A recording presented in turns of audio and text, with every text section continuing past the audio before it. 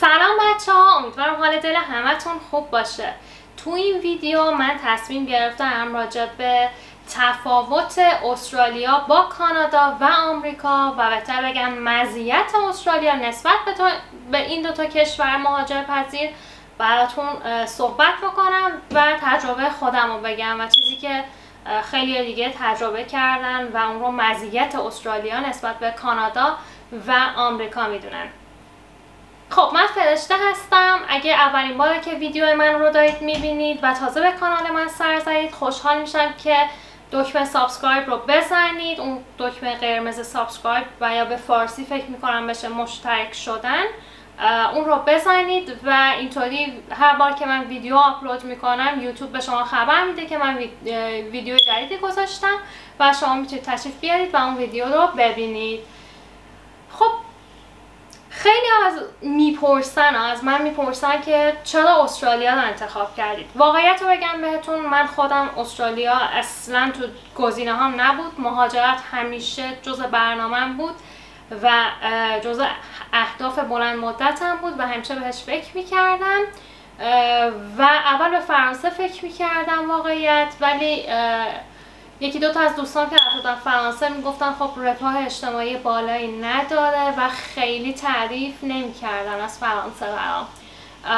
و آمریکا دوست داشتم برم چون خب دایم آمریکا رفته چند سالی هستش و خب برای من خیلی خوب بود. اگه می‌تونستم مثلا لس آنجلس پذیرش دکترا بگیرم و برم اونجا که متاسفانه نشد برم اونجا.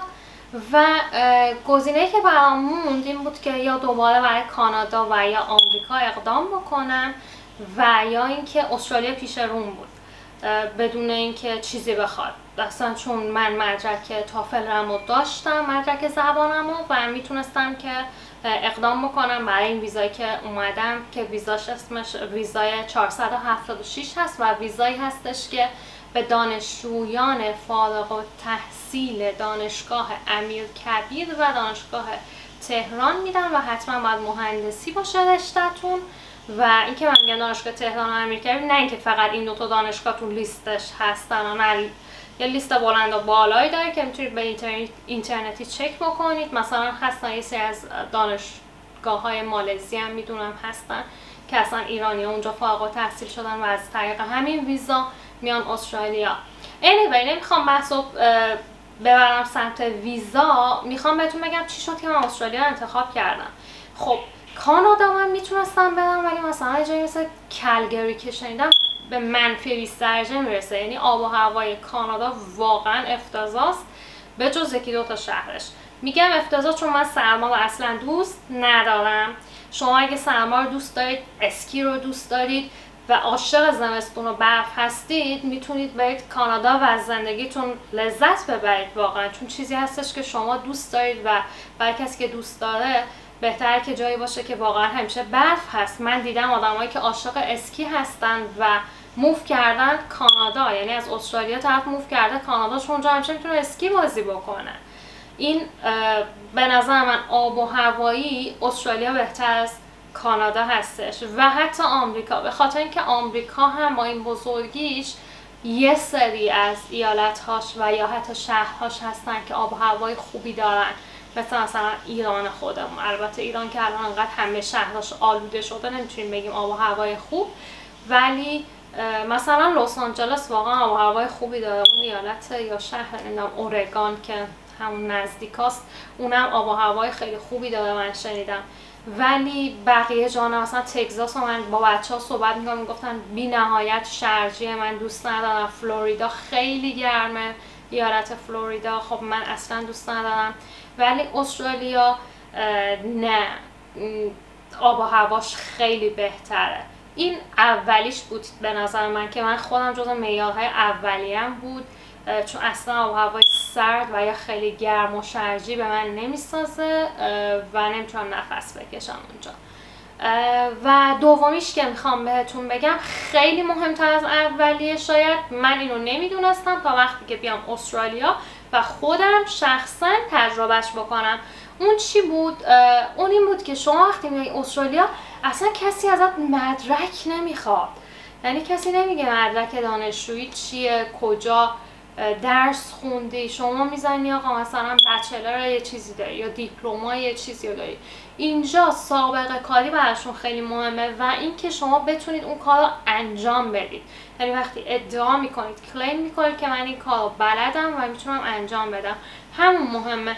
واقعیت رو بهتون بگم بچه ها من تا الان سه تا شرکت توی استرالیا کار کردم. این آخرش رو همین هفته اخیر رفتم. و اصلا از من رفرنس نخواستن.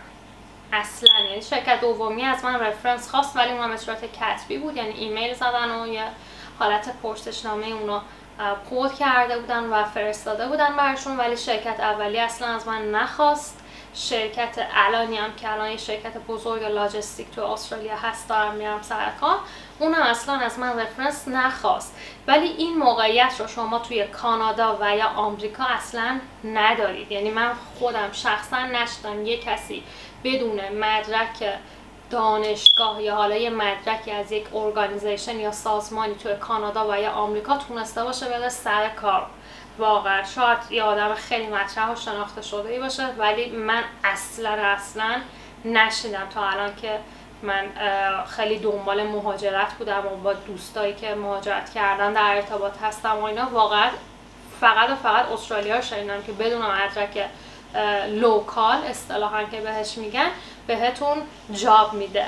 این دوتا رو حتما حتما توی لیستتون داشته باشید. وقتی دارید کشورها رو با هم دیگه بررسی می‌کنید میگه کدوم بهتره کدوم از این نظر بدتره. این دوتا حتما حتما در نظر بگیرید چون تو پیشرفتتون خیلی کمک می‌کنه. مرسی که منو تماشا کردید. یادتون نره اگه از این ویدیو خوشتون اومد حتما حتما subscribe بکنید. و اگه سوالی دارید در مورد استرالیا همین زیر کامنت بذارید بر من و من حتما بهش جواب میدم. مرسی. تا ویدیوی بعدی. bye!